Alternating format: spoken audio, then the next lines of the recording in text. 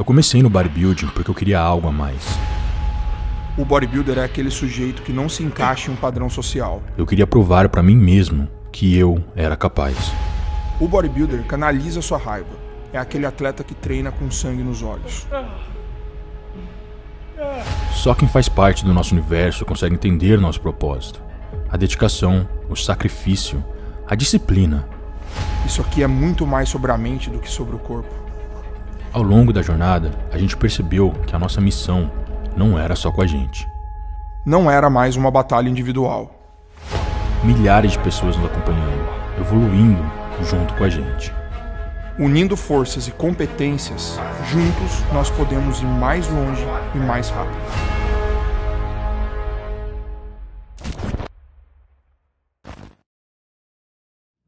Meus manos, bem-vindos a mais um vídeo do canal. Esse vídeo aqui não vai ter muita edição porque é o round 2 de pose down entre eu e meu mano Lucas Pinheiro. Pra quem não sabe, tá perdido, a gente vai competir junto dia 22 de agosto. A gente tá fazendo esses pose downs aqui pra vocês verem a progressão dos dois é, durante essa preparação e quem que tá melhor agora, quem que tá melhor na outra, não sei o que, pra gerar esse espírito de competitividade e tudo mais. E também a gente se motivar um com o outro, né? Porque agora eu sei com quem que eu vou subir no palco pra tentar ficar em segundo lugar, porque tem um cara ali. Eu. É o Rubens. Eu, todo mundo tava esperando. A verdade, a verdade é que eu decidi competir. Então fudeu geral. Aquele cara ali, Rafa, também é brasileiro aqui da Flórida. Infelizmente, acabou com os nossos sonhos de ser overall. É, deixa eu falar uma coisa. Ele tá na minha casa. Ele tá na minha casa. Eu já tô salgando a comida dele mais, entendeu? Tô colocando salito em tudo, tá é ligado? Troquei todos os suplementos dele, os suplementos dele tudo lá que ele acha que ele tá tomando aminoácido, sei o que, mano, é sódio, farinha, farinha de, de, de trigo, só isso. Fechou, mano. Capaz dele ficar maior Ninguém ser. mandou, né, mano? O cara não é Team Overall, veio pra terra do Team Overall, mas é o seguinte, então vamos fazer um post down número 2. A gente não fez antes, né? O Lucas chegou aqui na quinta-feira, a gente ia fazer na sexta, no sábado, porque a gente tava um lixo. Tipo assim, explica aí, coach, o que aconteceu. É, bom, preparação é um jogo de xadrez, né? Você mexe peças e fica aguardando a resposta do outro lado. O seu adversário é o seu próprio atleta, porque o organismo dele acaba pregando peças. A gente começou a tentar acelerar o metabolismo dos dois, e aí ele pegou e colocou. A gente é, tava com o T3, né, que é um hormônio da tireoide dentro da preparação. O que acabou acontecendo foi que o o T3 bateu muito forte nos dois, que já tem um metabolismo mais preparado, já tem um metabolismo mais eficiente do que o normal, e isso foi demais. né? Essa taxa metabólica aumentada fez com que eles tivessem um pouco de perda de densidade. E aí o aspecto do músculo deles não estava tão cheio, tão hidratado quanto a gente gostaria que tivesse. E isso faz com que você aparente estar menos seco, porque apesar de você estar reduzindo gordura, se a densidade não está alta dentro do seu músculo, ela não faz com que a sua pele envolva aquele arcabouço muscular de uma forma bonita, estética e tal. Então a gente viu depois de um treino sinistro de, de costas que os três fizeram, os dois sem pump, sem aquela condição de quem acabou de treinar. E aí a gente conversando, debatendo, vendo o que estava acontecendo, a gente, a gente viu que era o T3, o vilão, que foi quando ele entrou que declinou a densidade dos dois. Então a gente tirou, normalmente ele leva quatro dias para ele parar de fazer função total no organismo do atleta. Eles estão hoje no segundo dia apenas sem o T3. Eu acredito que isso já tenha impulsionado, melhorado um pouco a densidade dos dois, mas a gente ainda vai conseguir um progresso maior nessa semana. É. É isso aí, né? Chegou a O que é hora. interessante é que vocês estão tendo a oportunidade de ver dois físicos totalmente diferentes, dois metabolismos totalmente diferentes, pessoas que respondem de maneira diferente, estímulos diferentes em uma preparação, evoluindo no mesmo tempo. Então vocês vão ver que vão ter momentos desses, de- eh, por exemplo, dessas, desses rounds que a gente está fazendo de duas, duas, três, três semanas, que o cara vai estar melhor, que eu vou E estar shape melhor. e preparação muda todo dia. Muda então muito. hoje eu posso estar melhor, amanhã ele pode estar melhor, saca? E no dia do palco vai ganhar quem tiver melhor naquele dia. Naquele momento. Não importa quem tá um dia antes, quem tá carbando, tá ficando gigante, vascularizado. E eu achei muito hora interessante, palco- mano, que a galera ficou muito tipo assim: ah, mas o Lucas lesionou a lombar e por isso o Lucas tá assim. Véi, ninguém tá nem aí pro que aconteceu com a sua vida. Dane-se você. Se você tá no palco, cara, ninguém quer saber qual é a sua história de vida, de onde você veio, qual a lesão que você teve. Você vai ganhar ou perder, acabou, cara. Então não tem esse negócio de, ah, o Caio teve isso, o Lucas teve aquilo. É quem tiver melhor no dia, ponto final. É isso aí, sem desculpas, uma rivalidade amigável aqui pra vocês. Espero que vocês estejam gostando do conteúdo. E é isso aí, chegou a grande hora. Não estou muito. Vamos se despir. Mas foda. Bom, antes de eu tirar, né, minha camiseta, dragonfarmabrasil.com, cupom Caio, oficial Farma.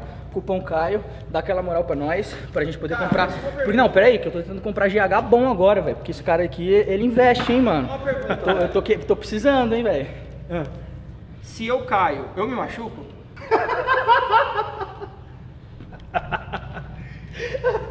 Se o Botura escorrega, cai o Botura.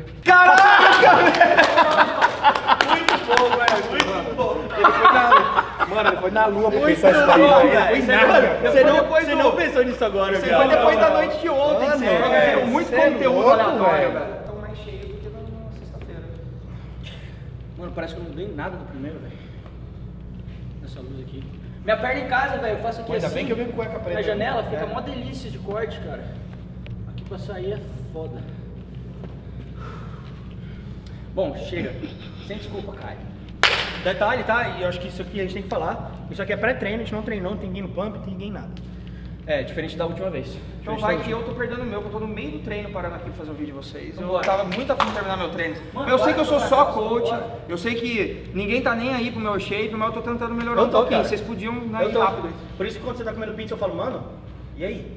Eu, eu tô aí pro seu shape. Pera aí, vocês esperam um pouco aí, você. Deixa a gente brincar um Vamos, pouco. vamos comparar os réis mortais primeiro. Semi-relaxado de frente, caralho. e guarda as cotoveladas no pau. Um quarto de volta pro seu lado direito.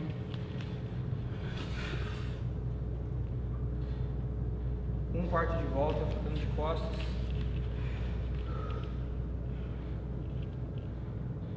Um quarto de volta pro seu lado direito.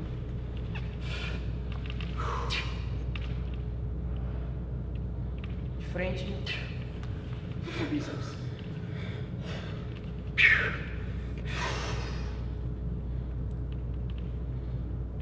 Ainda de frente, expansão de dorsais.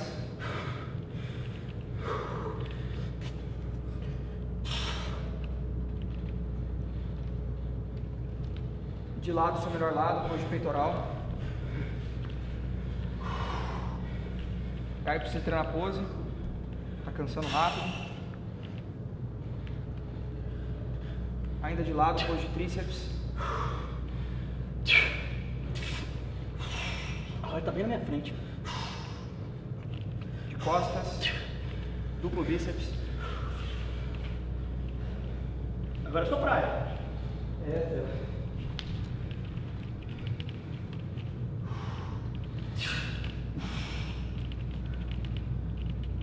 Ainda de costas, expansão de dorsais.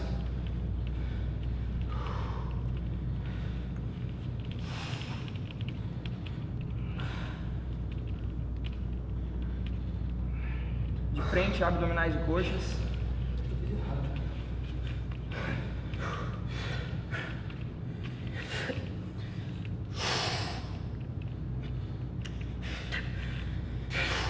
Ainda de frente, pouso mais musculoso.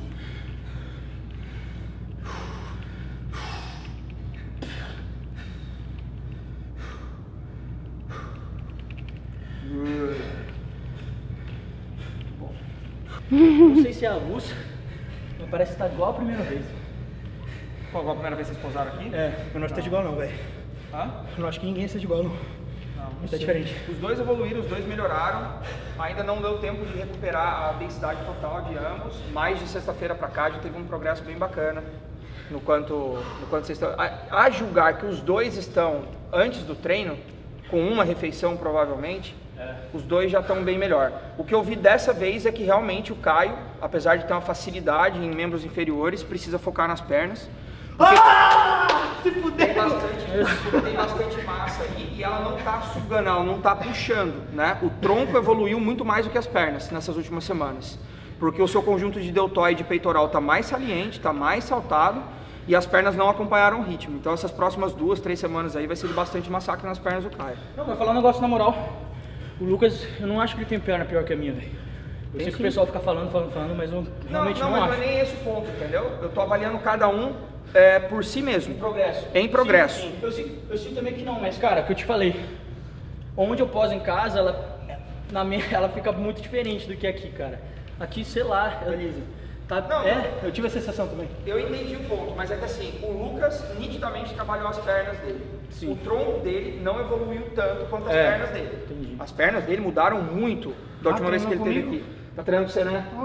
E o, e o Caio evoluiu muito o tronco. Deltoide dele tá saindo muito mais, peitoral tá muito cheio. Tá faltando encher um pouquinho os braços, que tá vindo, costas, já encostou mais. Mas as pernas, talvez por ser uma área em que ele fique confortável, porque ele sabe que ele tem massa muscular ali, ele não deu a atenção que ele deveria. Essas próximas duas, três semanas vai ser. Eu acho que eu E- tenho que ter dois treinos de perna na semana. Exato, eu tinha programado um treino pra ele, tinha colocado um treino só. Eu já vou mudar isso. É. Né? Eu sinto que a minha perna evolui muito mais quando eu faço duas vezes. E é, é o que você falou.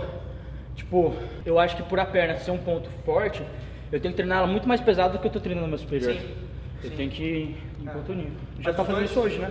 Mas os dois evoluíram bem. Eu vou até fazer um adendo aqui, que de sexta-feira pra cá a mudança foi tão significativa que eu acho que os dois têm que usar a mesma mágica, vocês precisam comer mais. E se fuder no treino. Se fuder no treino. Se fuder no treino. Treinar como se não tivesse amanhã, velho. E aumentar a carga a cada repetição, não deixar nada sobrar, fazer um cardio bem feitinho e socar a comida. Porque os dois estão recuperando densidade. E os dois podem chegar muito maior lá, entendeu? Eu acho que é- esses dois dias já serviram para ensinar isso. Não dá para vocês secarem comendo pouco. Secar comendo pouco é esse aspecto que vocês vão ter, ó. Poquei, tá bonito, mas o músculo não tá cheio. entendeu? Se secar comendo muito, vai demorar um pouquinho mais para secar. Uma hora que o metabolismo acelerar, vai acelerar bonito, porque vai ter massa muscular consumindo, entendeu? Então não dá pra gente ficar judiando tirando uma comida. coisa, por exemplo, ontem a gente fez carb up. Eu tava bem mais vascularizado ontem no treino, né? É, olha pra gente, a gente nesse plano da preparação, tudo bem, a gente não tá com pump, mas quando a gente, tipo, força, Tá é pra, é pra vir mais do que tá vindo. Tipo, tá vindo, mas, mas geralmente, né, mano? Tipo, fica muito diferente o aspecto de veia e de tudo. Até minha perna, minha perna, cara, ela fica cheia de veia aqui assim, ó. Tá fina, né, velho? Ó, É, fina. e a pele não tá grossa, tá fina, só Mas que... é isso, é isso. É a densidade. falta de densidade. É, falta encher o músculo mesmo. Mas eu senti que eu travei mais, velho. Sim. Bom, chega aí. É, pronto, Fazer um vai. guest pose. Ó, agora é o seguinte, agora vocês já se fuderam mesmo, vocês não precisam de mim. Então, o Rafa vai entrar no Dash Pose. Só quero uma fala pra ficar guardada aqui, que assim, o Rafa é a primeira vez que a gente tá tendo contato pessoal com ele, eu já vi ele competir antes, já vi ele ser campeão. O Rafa muito provavelmente dentro de um ano vai virar pro, tá? É bom ele ouvir isso também, porque eu vejo quem vira pro normalmente na NPC, ele tá com os elementos que faltam para a maioria dos caras que estão lá, porque ele tem musculatura muito sólida, tem muita densidade, né? E é um cara que ele tem sobra na preparação, porque o tanto que esse maluco come e tá secando é de outro planeta. Quantos quilos você tem? Quantos quilos? Você tá agora? 110? 110 quilos. Cara, você... 110? Eu também, 110. Mas eu sou mais alto que o Rafa. É uns 2 centímetros, né, mano? 2 3 centímetros. Bom, então, os dois têm que bater peso pra entrar na minha categoria. Eu não, eu já tô dentro da minha. Porque o limite é 102. Ah, Tu tá com quanto? 100. Ah, tu já tá dentro, então. Sim, já. É. Eu sou, sou mais de boa. Tô saindo da light heavy pra heavy. E ele tem 30 anos também. O cara tem uma maturidade muscular diferenciada, treina bastante tempo e vive o esporte aí. Então, bota ele no meio, vai no meio. Caralho, no meio? Lógico, é, mano. A gente faz as mandatórias ou vai quarter turns? A quarta mão sem graça, né? É, mano. Turn double.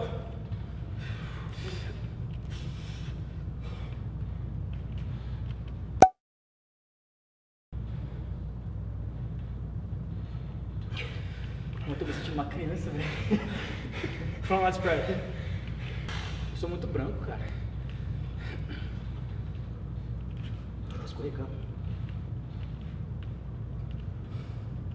Side chest.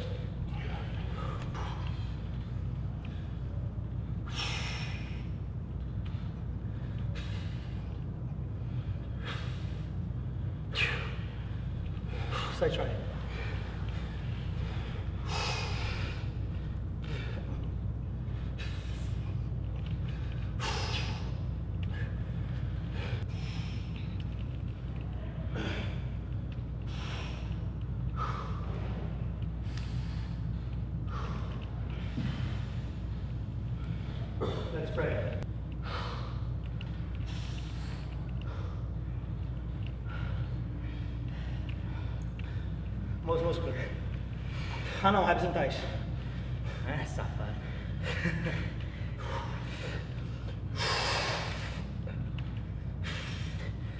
Nossa, eu eu branco assim. Most muscular.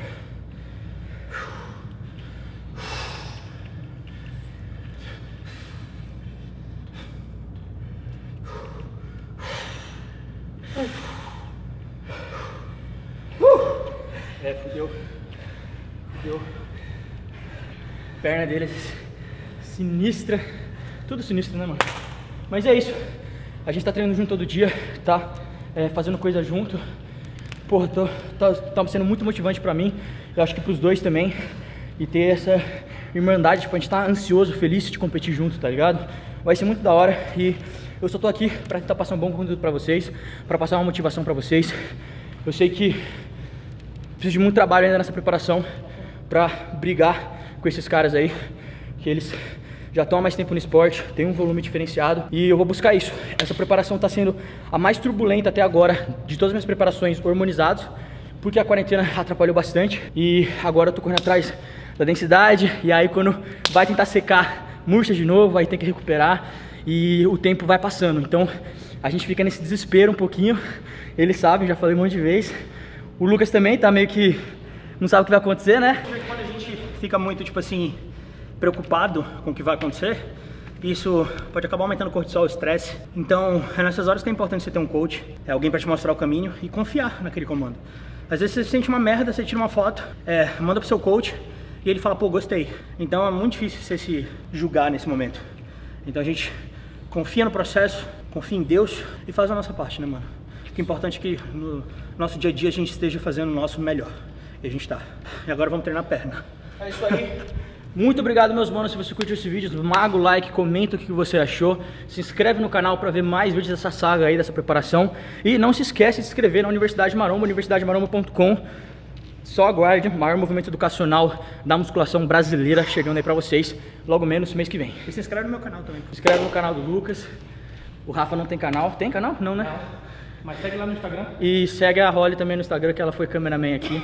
Então se ficou, se ficou ruim, câmera girl, se ficou ruim, reclama com ela lá no Instagram dela. E também no Instagram dele lá, Rafa. Como é que é? Rafa? Rafa Lucas com PH. Valeu, galera. Prazer estar aqui com vocês. Tamo É nóis, junto. Nós. Baby girl, let the ice spray.